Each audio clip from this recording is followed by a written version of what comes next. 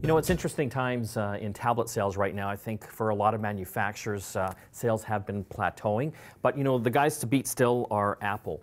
But uh, there are a lot of other manufacturers out there. Samsung is probably the other leader. And the one thing I like about Samsung is they're not afraid to try out different sizes. Well, you're going to have to innovate or imitate. And this right here is an innovation. We are looking at the Samsung Galaxy View. This is an 18.4 inch screen tablet not a monitor that you would typically see with your laptops to extend having a second monitor. This is a full functioning Android running tablet. It's kind of an interesting design. Uh, you can see uh, it has the giant screen. On the back, it's got a hinged stand, and uh, it allows it uh, kind of in a tent fashion uh, to stand up on a desk or a, counter. Uh, but it also has a little cutout on the, the handle here, so you can actually take this from room to room, which would make it handy for places like maybe a dorm room, or if you've got a family, you want to take this into the kitchen and watch some Netflix while you're cooking. Well, speaking of the innovation that they're putting into it, you know, they, they had an original design here with the back because it kind of operates like a teeter-totter. So you can have it flip to different sides, and it has a slight angle, which makes it great if you're going to type a quick email. Having an angle like this, and you can still see the full screen, but your hands are placed like it would be with the keyboard.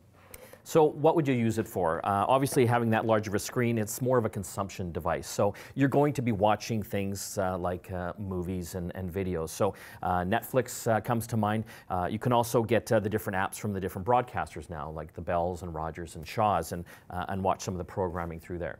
But if you are, say you want to get in touch with your grandkids, it does have a front-facing camera, so you could actually use this to have you know, Google Hangouts conversations, video to video with other people. And the fact that you can basically set it upright makes it, like you said, very easy to con consume content, especially at night before you're going to go to bed.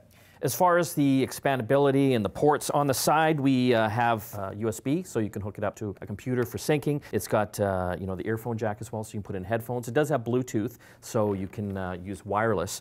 Uh, and then on uh, the very back, there's a, a little area where they have a, a, micro SD card slot for memory and storage expansion. And, and kind of a funny thing, they've got a, a SIM card slot as well, so you can get a SIM card and a data plan from your, your carrier to, to get the data. But th that's kind of a, an unusual thing for me because I would only want that if I was taking the device out in the town somewhere, you know, traveling or to the office.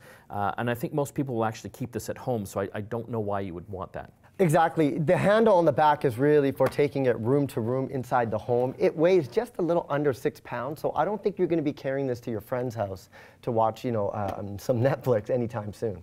Again, it's the Samsung Galaxy View uh, giant tablet slash TV. Great uh, for families uh, and uh, dorm rooms. And if you want more information, just go to our website, getconnectedmedia.com.